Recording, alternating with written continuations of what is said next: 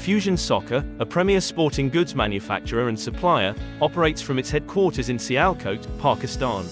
Established in 2000, the company has mastered the production of footballs, volleyballs, handballs, and goalkeeper gloves that meet the stringent quality standards of international sports brands.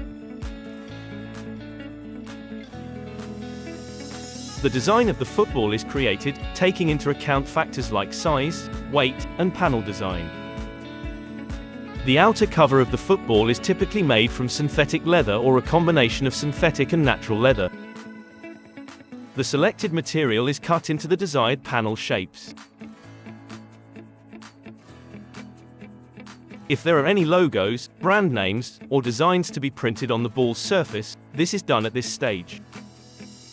Typically, the panels are stitched together using strong nylon or polyester threads. A rubber or latex bladder is inserted into the stitched panels.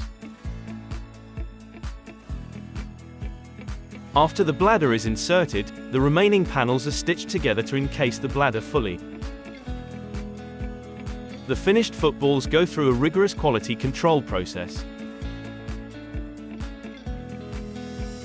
The balls are inflated to the specified pressure and tested for weight, circumference, and roundness. Once the footballs pass all quality checks, they are packaged for distribution.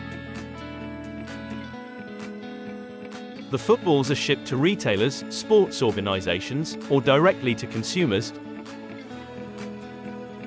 The entire process is carefully monitored to ensure that the footballs meet the required standards for size, weight, shape, and performance. Different brands and manufacturers may have variations in their production processes, but these general steps provide an overview of how footballs are typically made.